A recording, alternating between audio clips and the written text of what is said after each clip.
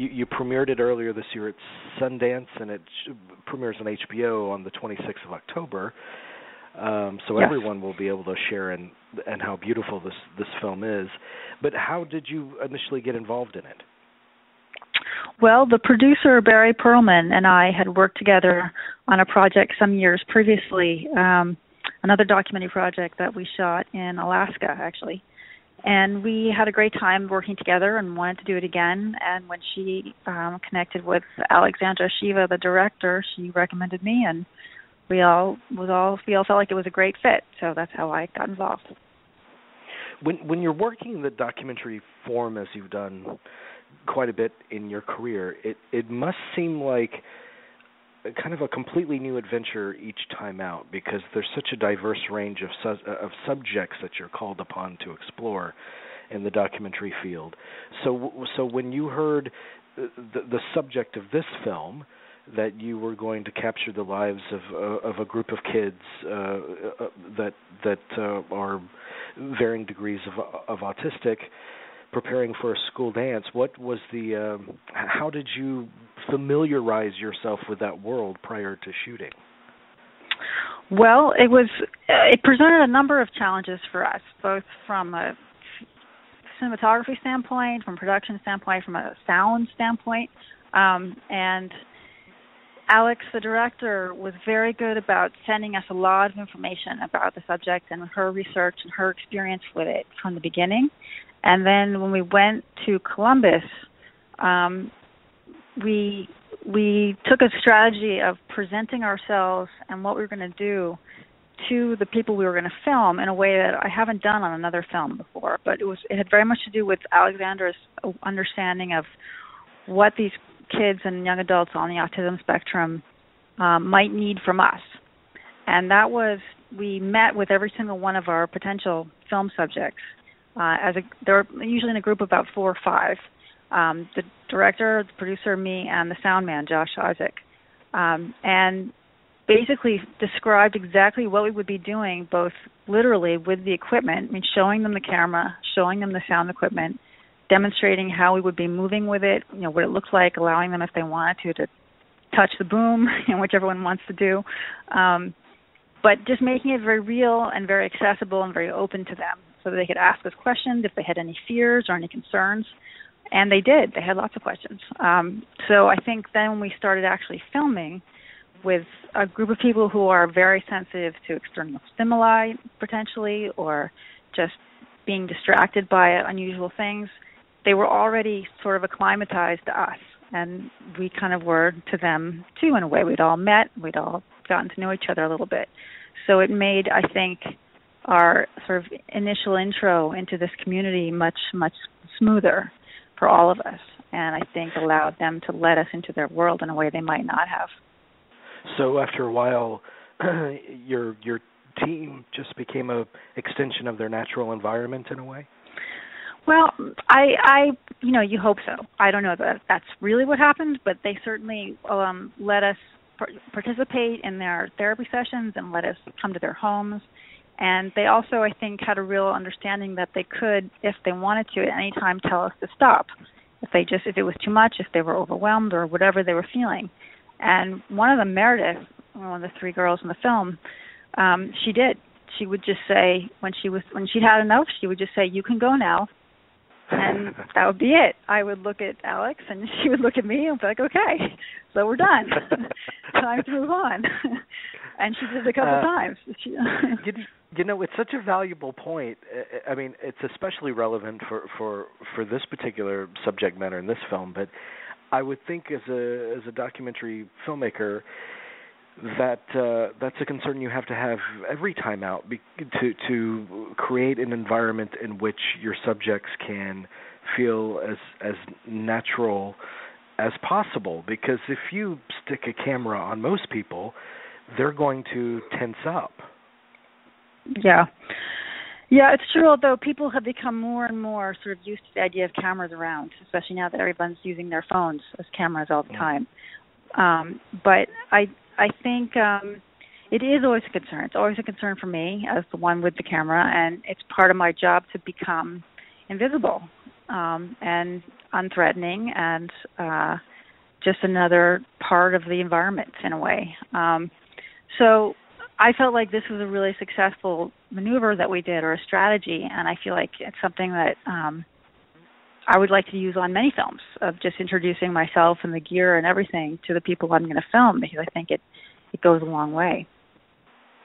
What what really delights me most about the documentary form is just the sense of discovery when you really feel the spontaneity of life kind of unfurling in front of you and i'm wondering in the you know you could you could go into a project and you could have in mind a certain a certain narrative that you're going for but uh, on a documentary that could that could uh, morph into something completely different by in the end and i'm wondering in this process of making how to dance in ohio uh, what's what's su- surprised you most about the lives that you were capturing? Um, I think well, part of it was sort of the arc of the film. The we didn't know going into it how successful this whole dance project was going to be. Um, I mean, we knew that it was a great idea and a great concept, but we didn't know how how well these um, characters would actually embrace it themselves. So um, that was sort of watching them kind of flower and open up as as the process went along, and watching them really rise to the occasion um, was was really impressive and moving and fun for all of us. I think. Yeah. Did you make a swim team before or after this? Before. Yeah. Before. That, okay. Yeah, that that oh swim team. I'm sorry, I was thinking of a different film. Swim team actually was the year after. Yeah, it's they're still editing right now actually. Okay, and and was was the experience you had because if I'm not mistaken, the uh, the subject of that is is similar uh, in terms of just the, the the the autism spectrum. It's it's another exploration of of that kind of community. Is it? it is. It's it is. It's about uh, a team in New Jersey called the Jersey Hammerheads that is entirely made up of of kids on the autism spectrum. I think there were 13 or 14 kids when we were filming all together on the team, and um, it's it's it, it takes a different tack, and I don't mm-hmm. want to talk too much about it because they're forming it now from what we did. But um, it's it's again an exploration of something that I think is really needs to be opened up to the wider world because there are now so many of these children um, and they're growing up and you know it's a, what happens as they become adults and enter into society in a more independent or not way i feel like we all need to come to grips with that on some level.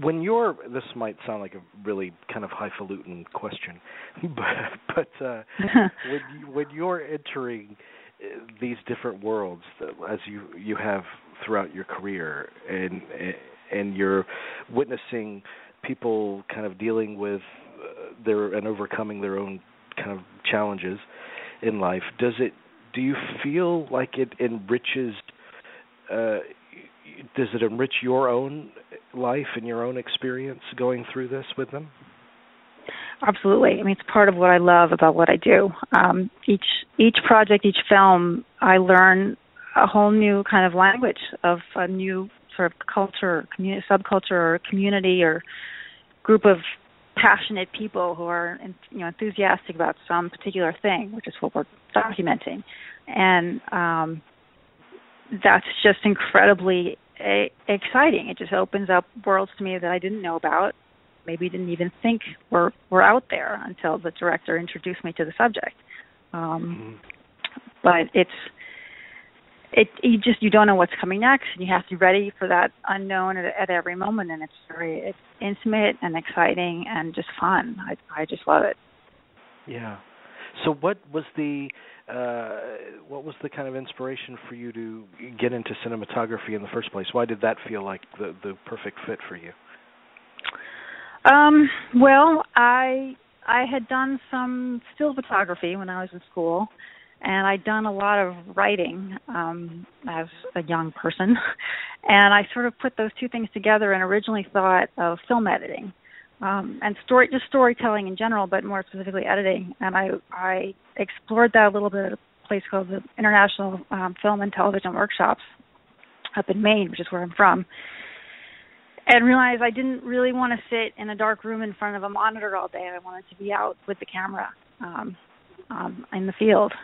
So that sort of pushed me in the direction of uh, cinematography, and I moved to New York and started working as a camera assistant and worked my way up. Was along the way was there kind of a, a, a mentor or a series of mentors that you had? Yeah, there there were. I mean, I would say that my um, probably the one who had most influence and impact on my life is a DP named Richard Rutkowski, who I was the first person to hire me as a camera assistant when I moved to New York. And I've worked with, excuse me, I've worked with throughout the years, um, both when we were both assistants and then when he became a DP, and then I followed in, in his footsteps. Um, and I think he's an incredibly talented and, and you know influential person, and, and uh, had a real impact on my career. But when you observe people like that, uh, as you're kind of forming your your own identity as a as a camera person, um, what kind of not necessarily technical tricks, but um, just their their whole manner of of working and their approach to the work. What what did you observe in them that was most valuable to you? Um, I think part of it was his sort of demeanor on set, his sort of calmness in the face of any problem, um, his just very sort of controlled and rational approach to solving whatever came his way was was what I learned from Richard, um, and from other other people that I work with that I thought were really good at their jobs. Um, and I think, especially in documentary, that's really the approach you need to take because you you just so don't know what's coming next and you just yeah. have to be able to ride with it and and keep going and turn on whatever dime you're presented with. Um, so that was that was a real lesson to me um, about how to how to approach each problem as it comes along. Is there when when you work on narrative uh, films as you have and and you've done TV work as well? Um, is it does it feel like a complete departure from the documentary form, or do they share more similarities than differences? They're pretty different. I mean, they're. I guess. I mean, it's one thing to have a, a, a large crew and be directing a lot of people at one time versus the very intimate and and um, small uh, working unit of a documentary. Um, and with narrative it's it's so much about you're starting from from zero. You're creating everything from scratch. And you're not i mean again you have to deal with locations and environments. And so there's always parameters. And the more parameters the better in my opinion because often if you can do anything you want you don't know what to do. Um, so i guess they're kind of they're they're different orientations. They're different mindsets. Um, and i feel like I guess what I really love about documentary is that intimacy and that. Um, and I have a lot, in many ways, as a cinematographer, you actually have a great deal more control in documentary because your hands are on the camera and you're the one making a split second decision on what to focus on, where to turn it, you know, who to. I mean, if you have good communication with your director and you understand each other, then hopefully you're making the decisions that they would want, and you can even, you know, have ways of communicating in the environment sometimes but still, you as a DP have a great deal more uh, creative control in that moment than you often do on a narrative set, where there's so many other um, people involved and, and scripts and you know things that determine exactly what you're going to do long before you do it. And, and plus, on a documentary, I mean, correct me if I'm wrong. It, it must be that you, you there's there ne- is never a time when you're kind of when you're off. I, it feels like you always have to be present because you don't know when a magic moment will occur. That's very true. Um, it's it's a real balance to walk, just as a human being, trying not to overwork yourself and yet be prepared to film at a moment's notice.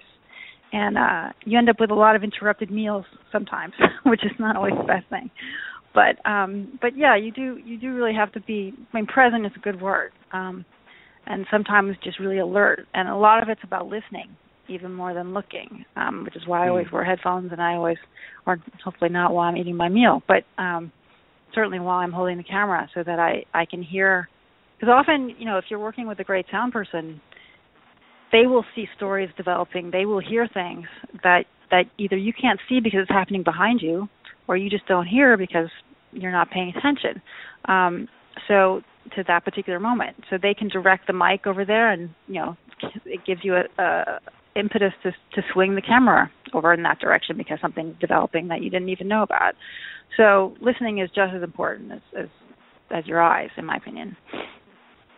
Well, I, I, also with I mean, if you think years ago when uh, the majority of documentaries were shot uh, on film, um, mm-hmm. which I would imagine is very rare today. Uh, it, does the does the digital technology does it? Uh, I mean, just by its very nature, I guess it allows you to be a lot more mobile and and, and fluid with with your uh, accessibility to capturing those moments. Um, yes, although I mean, I guess it depends on what you're using because some of these digital cameras have a lot more contraptions going on than film cameras ever did, and that mm. that can be a, a hindrance to some extent. But um, I guess I mean it certainly allows you and this is both a plus and a minus. It allows you more freedom to just roll when you need to. Although I feel like that's become that often can be taken advantage of in a negative way because people don't know when to stop or they don't know how to somewhat edit in their heads as they go because they have this sort of endless supply of storage space versus the expense of film back when people were using film which was a sort of automatic editing device um, because you you know you only had so many rolls of film with you, and that's what you had, and you had to work within those parameters. Um, it certainly, uh, I think, allows a lot of experimentation and with both things how look and how they um, uh, with you know the ability to see into low light, things like that, allow you to go into places that would have been much harder when we were shooting on film. Um, yeah. But I, I always feel like you know the, it's just about what is the right tool for the project you're doing. So it might it's you're right it's rare these days that it's film, but it does still happen that people do shoot documentaries on film if it if it works for what they're doing. I I got to tell you I love uh American Teen. I, I remember watching that at a, oh, a festival. You. A festival whenever it was uh making the festival rounds and I just fell in love with it. It, it was such a oh, revelation oh, to me. Uh, it was there. There were there were a team of what th- three uh, cinematographers on that project, including yourself. Well, not all at once. Um, I was there for most of the time, and then the times I couldn't be there, Wolfgang Held and Robert Hanna, and there were a couple of other people who filled in also. Um, but it was a single camera. Well, mostly single camera um, for some of the big events like the prom or uh, the battle of the mm-hmm. bands. Um, we had multiple cameras going on and brought in other people, but the the we shot um, a thousand hours of footage on that film, and it, almost all of it was one camera at a time. Wow! Wow! Yeah. Yeah, I didn't I didn't know if if each camera person was responsible for one particular story thread or or not. I didn't know. No, it was it was one person there, you know, flitting around from story to story. Um, because we were there for a long time, so we were able to cover a lot of different events. We had we had the time to spend a day with one character, or a day with another, and you know, sort of spread mm. it out. When you're, I'm sure that do, do you when you show at festivals and such, when you do you attend, try to make it a point to attend any festival that you're you're able to to see your work in front of an audience and see how it works? I'm not really able to do that much. I've I've I've done it for a couple of films. I try to go to I try to go to all the premieres and be there for the first one, but usually the subsequent ones I don't necessarily make it to. Um, but it is really fun to be there with an audience, and and I also I mean I don't necessarily ha- I uh, see the films that many times before I see it in the color correct, but I don't yeah. I'm not usually there for a lot of the edit process. Although every director is slightly different in how they approach it. So I've had some directors who brought me in for rounds of rough cuts to give feedback and that kind of thing but um, it doesn't always happen, and I can't always go because I'm shooting something else. So, um, so I guess my point was that the premiere may be only the second time or third time that I've seen the whole film at all. So it's mm. um, it's fun and and it's uh, it's not like I'm bored with the film yet, which hopefully I never am. But Well, this this did show at Sundance, correct? How to Dance in, in Ohio. Yes, yes, it did. It premiered and, there last and, January. And that's as big a forum as you could get. Uh, did you attend that one? I did, and um, I was there for I think three of the five screenings, and it was fantastic. The audiences were incredibly enthusiastic and warm and responsive to the film, so it was it made us feel terrific. and also, um, all three of the girls and their families were there, and Dr. Amigo and uh, his daughter. So we had something like 17 members of the film roaming around with us at all the events and at all the premieres, um, which was really fun. And they they had all seen the film before. Um, Alex had brought it to Columbus to show to them before it went to Sundance, and they all expressed that it felt. I mean, it was incredibly gratifying to hear this. That it felt true to them, and they were happy with it. I can imagine that. I mean, I hear actors and filmmakers um, f- from the narrative world. A lot of times they talk about, you know, you're you're so close uh, for a period of three to six months, and then you kind of disband, and you don't really see one another again, and it feels like a great loss. But that's the nature of what you do. Uh, but in documentary form, when you're when you're so intimately immersed in the world of these subjects, it it must feel like a like a loss or a sadness, melancholy when it all comes to a close. It does, um, and it's that you know it is really uh, I don't know what the word is. I mean, it's just I mean it's fun and it's it's uh, um, nourishing kind of to reconnect to these people after the film is done and we all get together and celebrate it. But yeah, I mean, not everyone welcomes you in as much maybe as as the people in in How to Dance in Ohio did um mm-hmm. but you still you get to you do get to know them and they they become part of become part of my life as much as I'm part of theirs for this short period of time so yeah it is it is kind of a I mean, I guess when it, when it's over, there is that sort of sense of well, we will see each other because this film's going to be finished and it's going to festivals. so you have yeah. that sort of hope that you'll reconnect, but you don't always. You don't, and you don't always know how it's going to go. So. Yeah, my last question for you. It's it's what I ask all the cinematographers I talk to. Uh, mm-hmm. If you were to teach a class on cinematography, and you were to pull, you know, three to five examples of works throughout the history of film, whether it be documentary, narrative, or what have you, to teach a particular lesson, uh, what would which clips would you choose, or films would you choose? Do you think? Um, I think my first choice would be a film that was. I think it's the only film he directed. Um, it's by Gary Oldman. It's called Nil by Mouth, mm. and it was shot by Ron Fortunato. It's one of my favorite films, and it's all shot uh very long lens and very it feels very documentary like which is probably why i like it so much um so you really feel like you're there and you're part of, of what is a very sort of it's a very it's a difficult film it's not an easy film um very emotional and gripping kind of subjects. Um, but he manages to bring you right into it and make you feel like you're part of it. And some of it's kind of scary, and some of it's just sad, and some of it's just depressing. And then parts of it are you know people connecting and and having these emotional moments. Um, and it's a really I just one of them. It's my one of my favorite, most effective pieces of filmmaking, and I would I would I would show that a heartbeat. It's it's a sensational movie, and it uh, and it gave us or it introduced me to Ray Winstone, which was itself yes. a gift. yes, exactly.